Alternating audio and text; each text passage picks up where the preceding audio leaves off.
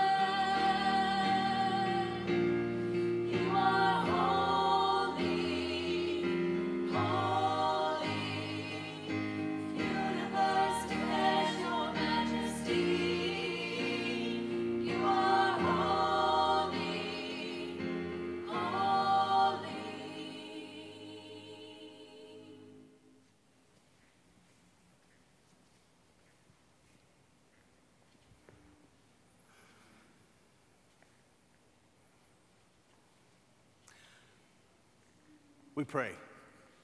O God, mighty and immortal, you know that as fragile creatures surrounded by great dangers, we cannot by ourselves stand upright. Give us strength of mind and body so that even when we suffer because of human sin, we may raise victorious through your Son, Jesus Christ, our Savior and Lord.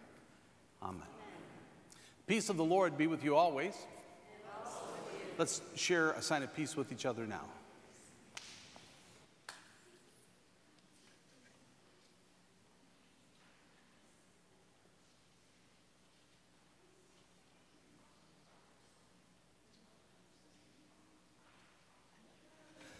Please be seated. I think we have a children's sermon.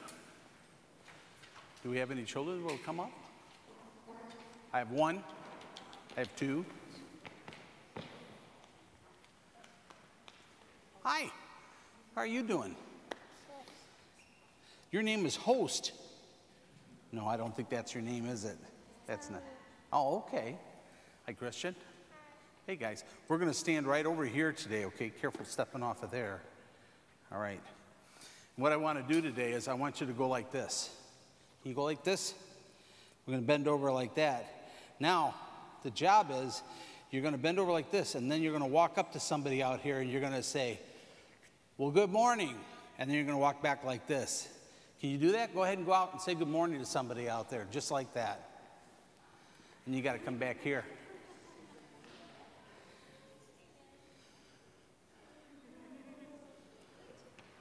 Good job. So today's story is about a lady who was bent over just like this for 18 years. Oh, I haven't said go. You got to stay like that. We're still like this for 18 years. But Jesus came along and healed her. And now we can stand up, right? And Jesus healed her, right? And then here's what happened. This was the weird part. Somebody said, Jesus shouldn't have been healing anybody because guess what? It was called the Sabbath day. You know what the Sabbath is? That's like our Sunday, Sabbath day, right? And they said, You're not supposed to be working on the Sabbath. But it ended up, Jesus said to them, if we were thinking about it the way we hear it today, didn't you get in your car this morning and start your car and drive to church? Yeah. That was working. Are you going to go home and do anything around the house? That's more work you're doing on Sunday. So he challenged everybody to stop thinking about Sunday as a day that you couldn't help others. He wanted to make sure that they knew you could help somebody else, even on a Sunday.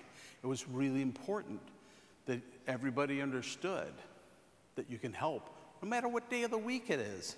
So, how about we have a prayer? How's that?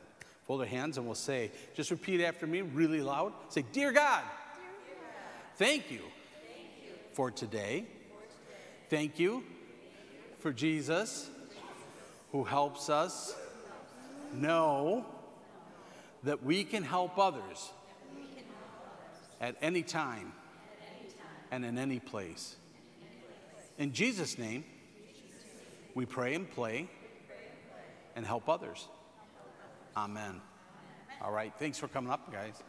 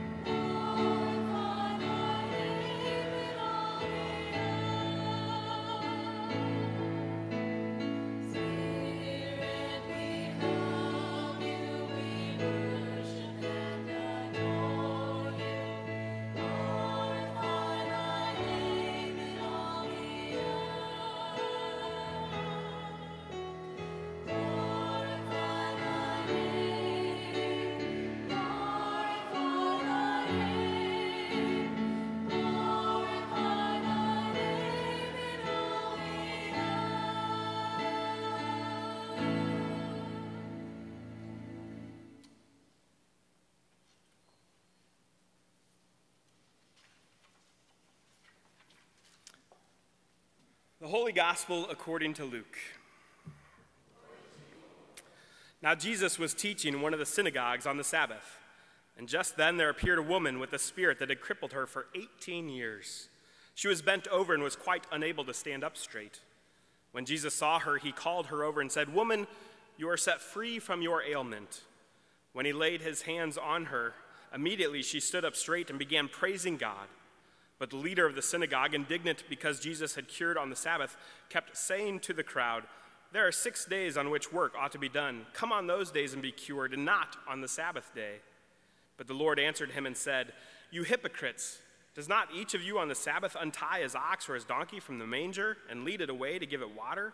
And ought not this woman, a daughter of Abraham, whom Satan bound for 18 long years, be set free from this bondage on the Sabbath day?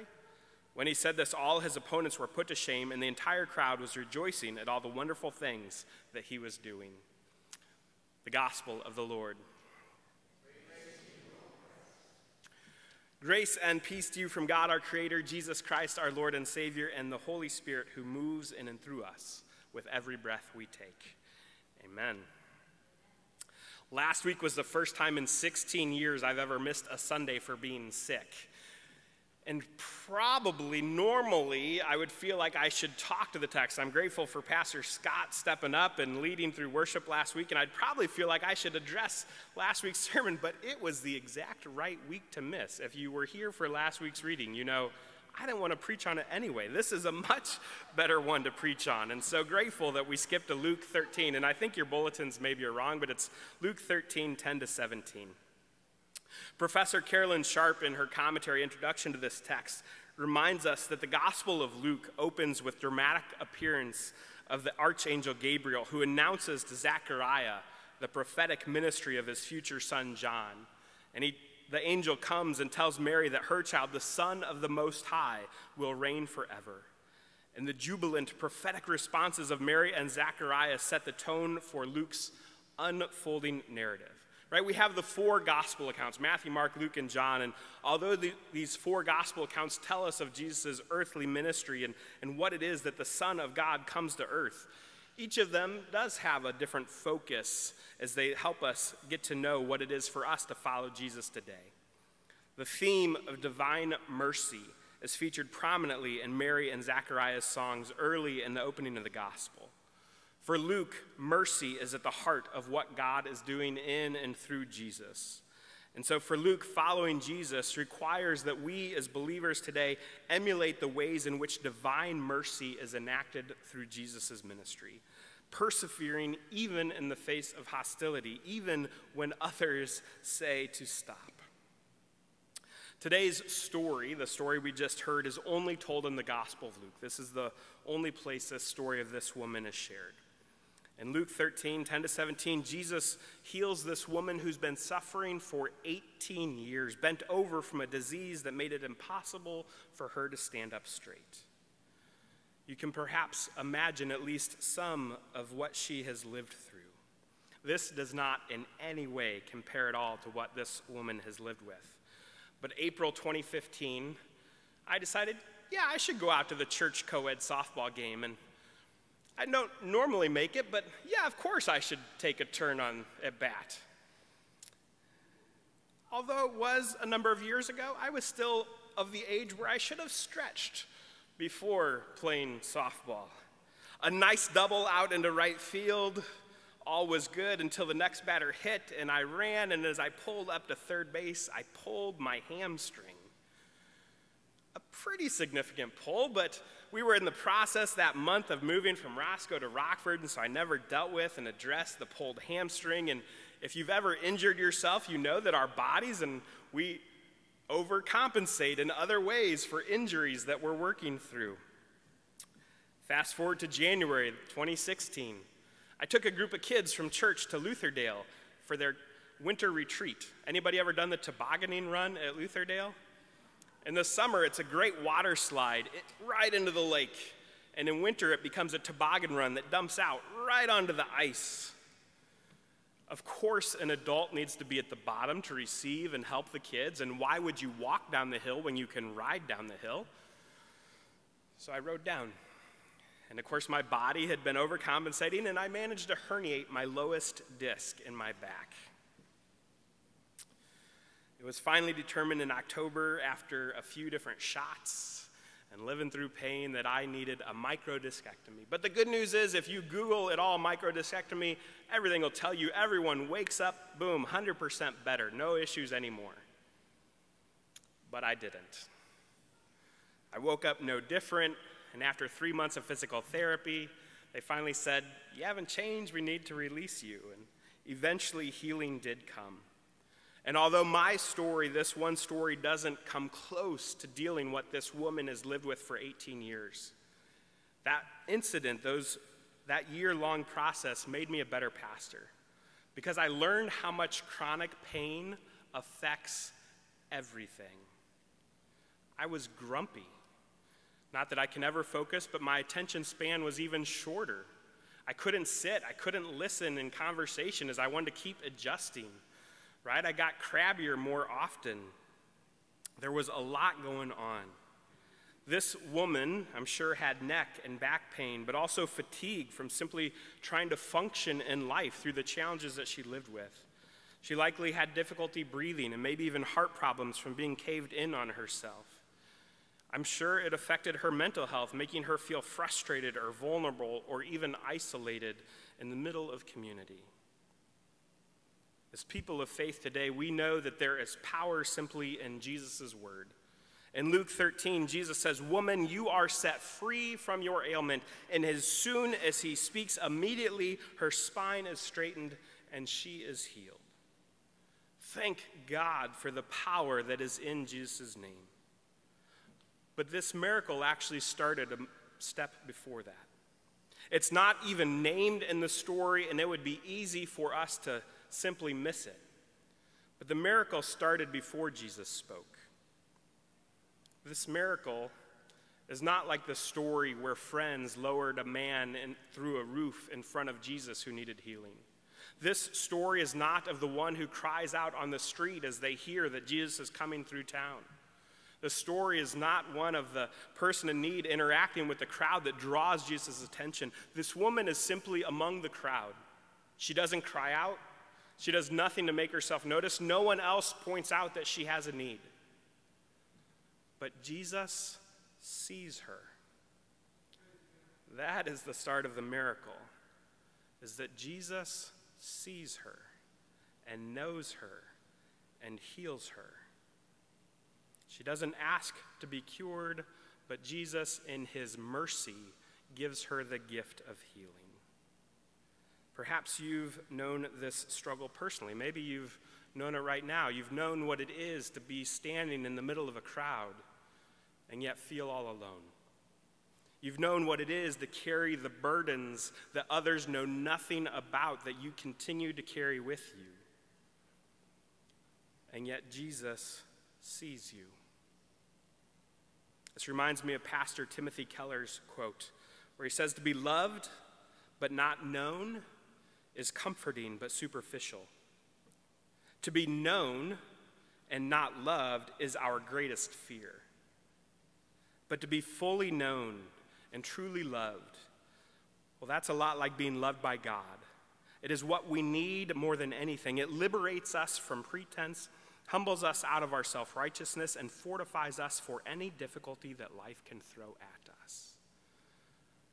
To be seen, to be loved, to be known. As your pastor, that's what I want you to hear today. Whether it's today, or it's been in the past, or it's something that you're going to face in the future. If you feel alone, know that you have a God who sees you and who loves you. Professor Sharp goes on to remind us that Jesus shows what it means to be a citizen of God's kingdom through Jesus' actions.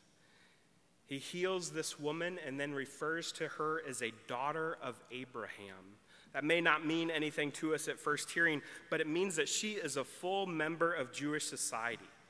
This is remarkable because the kingdom is equally open to women and the sick. In a culture and context in that day and time where some were pushed out, were left out of fully being a part of the community, especially women and especially those who had an illness. This woman all of a sudden is welcomed fully into community through Jesus. Now, in Jesus' day, physical and mental ailments were seen as work of evil forces, of Satan at work. And so, especially, people said, Keep them away from us. And yet, Jesus is the one who says, No, bring her right here. Let her be one of the community. Jesus' ministry on earth, if nothing else, is looking at those who've been pushed out of community and saying, You, beloved child of God, are fully a part of community. Now, the pivotal moment comes in this story, in this debate in Luke 13 15, when the narrator identifies Jesus as the Lord during this dispute with the temple leader. By giving Jesus this title, Jesus now has authority. Jesus is placed over the authority of the temple leader.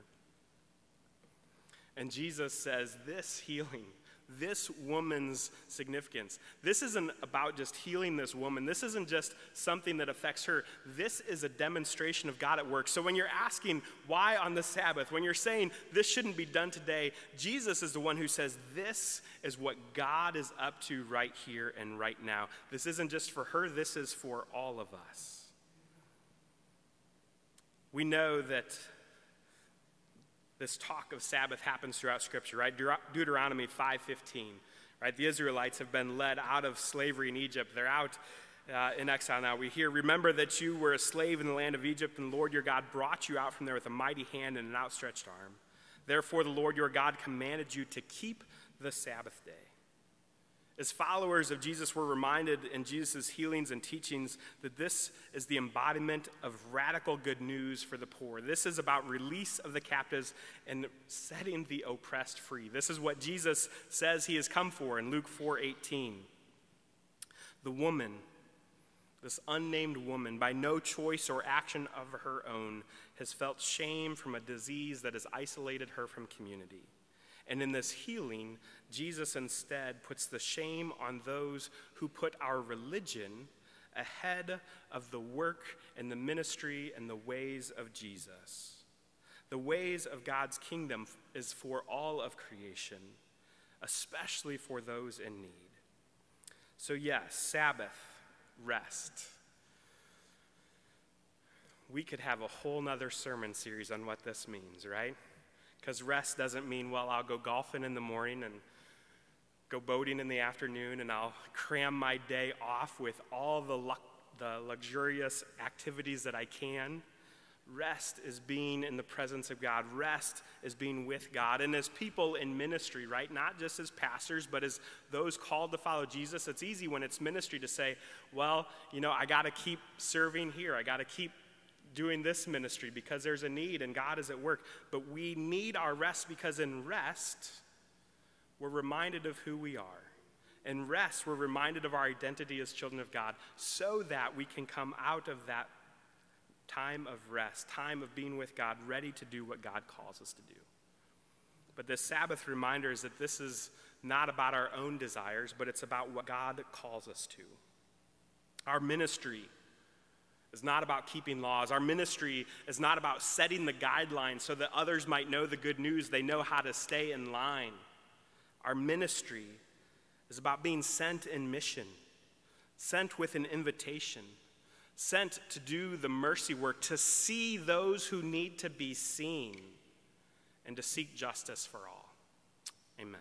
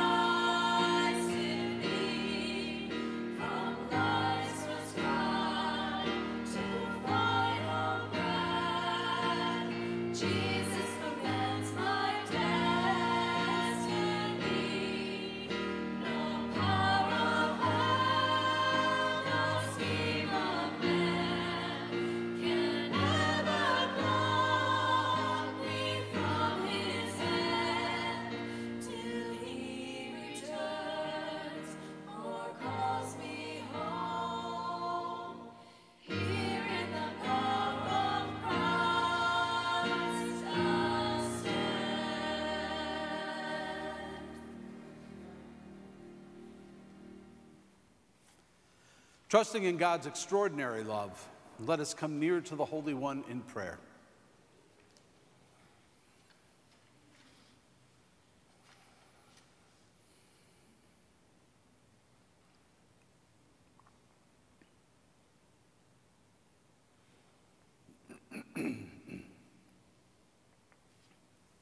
You crown your church with steadfast love and mercy. Guide us continually in our baptismal covenant to strive for justice and peace in all the earth. Use our diverse gifts in service to the whole people of God. Merciful God, receive our prayer. You satisfy the needs of all creatures, protect the habitats of fish and birds, repair ecosystems damaged by misuse, neglect, or natural disaster that all creation may thrive. Merciful God, receive our prayer. You make your ways known to all people. Inspire the rulers and leaders of nations with your compassion and mercy. Raise up activists and community organizers to restore places affected by violence, poverty, and inequality. Merciful God, receive our prayer. You provide justice for all who are oppressed and relief to all who are afflicted. Heal those who are bent over by addiction, depression, and anxiety. Set free all who cry out under the weight of mental, emotional, or physical distress. We pray especially for those in need Clarky, Johanna, Gert, Fred, Ron, Dave, Jerry, Charlie and Jill, Jenny, Dwayne, Paula, Roger, Marlon, Ron, and Wayne. We also pray for families and friends of our Savior's Lutheran Church Phyllis, Tara, George, Dave and Sharon, Darren, Elijah, Frank, and Paula. Merciful God, receive our prayer. You call us to delight in the Sabbath Renew our bodies, minds, and spirits in this worshiping assembly. Give rest to all who lead our congregation in worship, study, and service. Merciful God, receive our prayer. Generations bless your holy name. We give you thanks for the communion of saints who have gathered in prayer and praise in this place.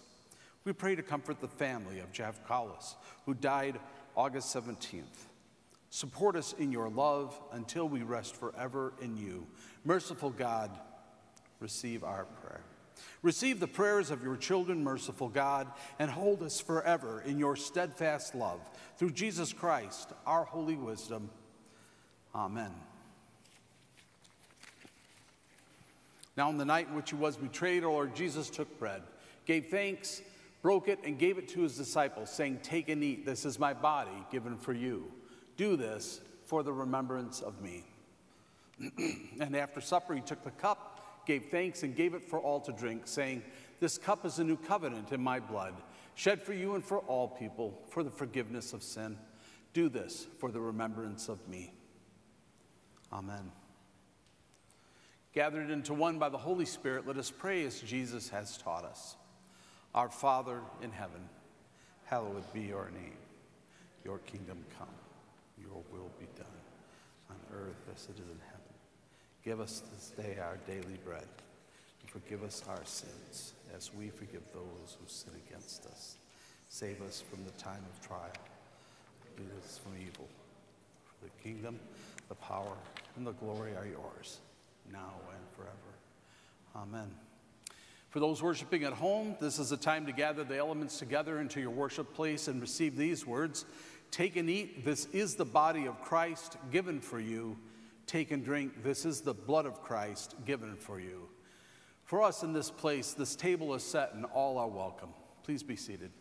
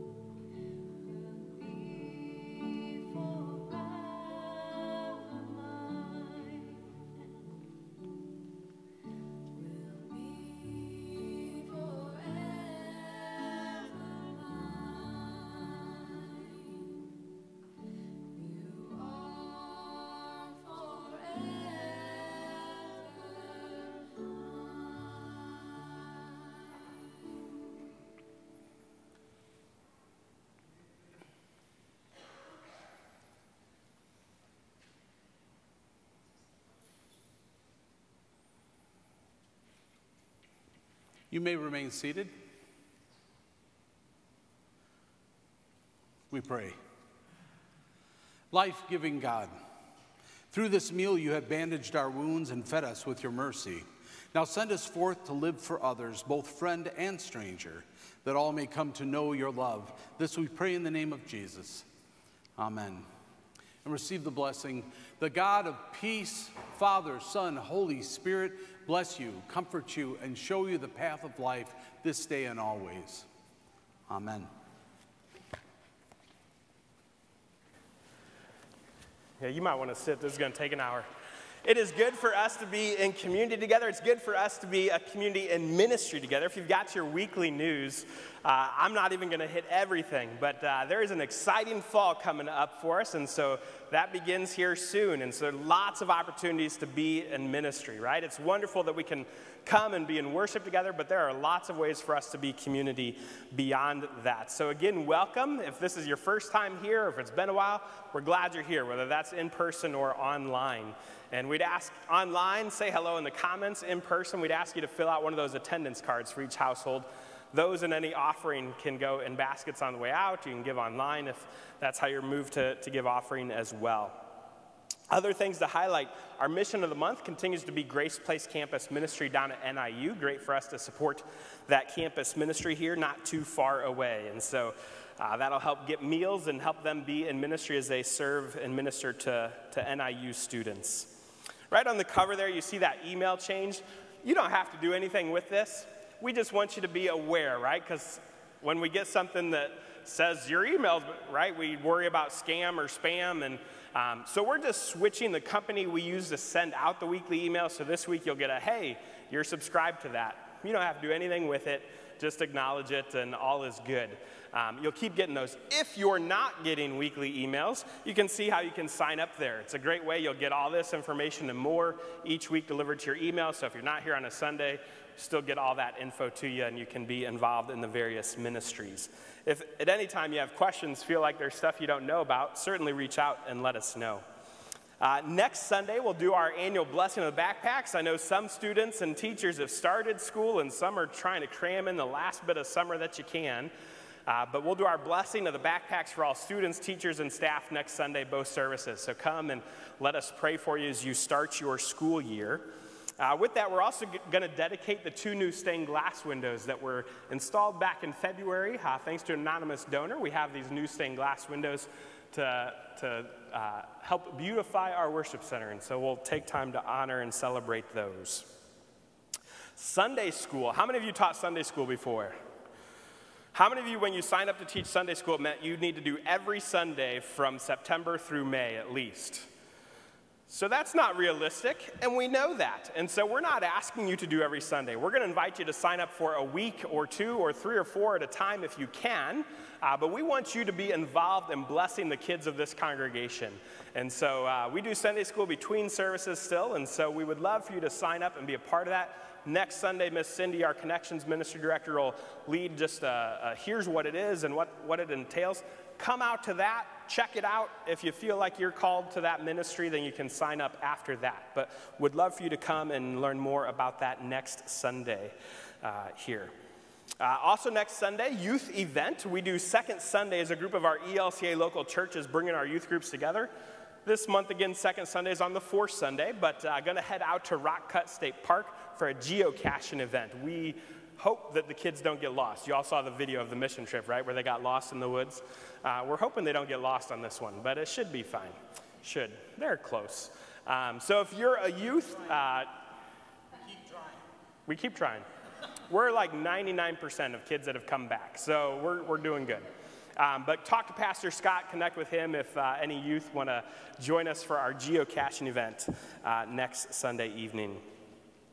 Johnson Cookout coming up uh, on the 30th. We partner with Johnson Elementary down the street here. We want to bless their back to school night, and like we did last year, we're cooking over 700 hot dogs. This year, thankfully, last year we had to bag them up and hand them to them as they walked out the door we're going to invite folks into the cafeteria to come and sit and have some fellowship and, and eat a meal. So Uh, that is at Johnson. So if you signed up, it's over at Johnson Elementary. Park in the back. There's a bigger parking lot in the back. You'll see the end square unit is the cafeteria. That's where we'll be. So we'll be grilling and preparing and prepping and cleaning up from that. I know that two big needs we have. Uh, we're looking for two gas grills that we can borrow that day for the event and a truck that can get those from wherever they are to and back. So if you can help with a gas grill or a truck, uh, talk to me, let me know so we can be ready for that event coming up here soon. Uh, our WELCA, Women of the ELCA, is hosting a fun event going to Nicholas Conservatory on the 14th, I want to say. Is that right? September 13th, sorry, September 13th.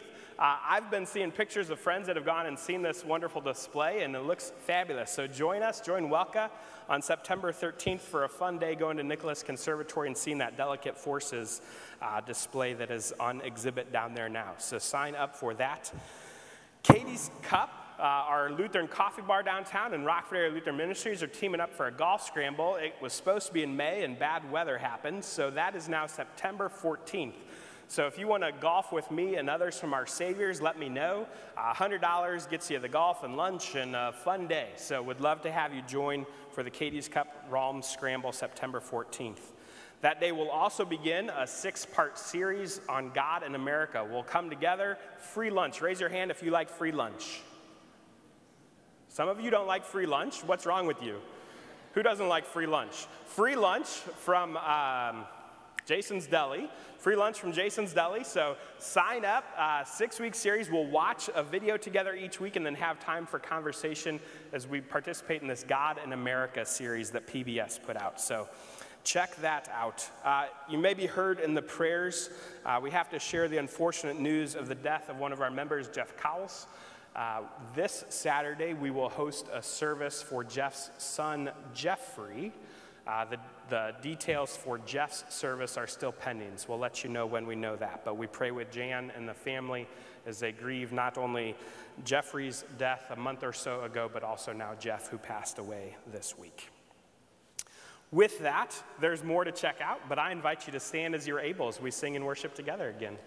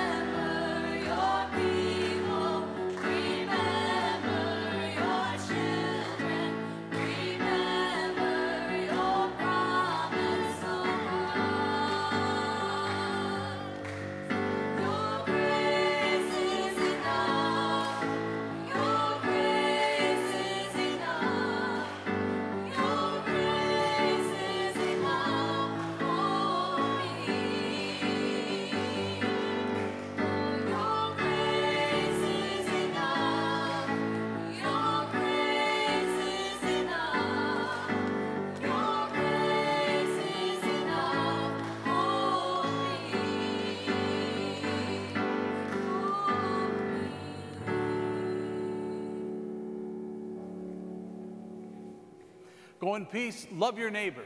Thanks, Thanks be to God.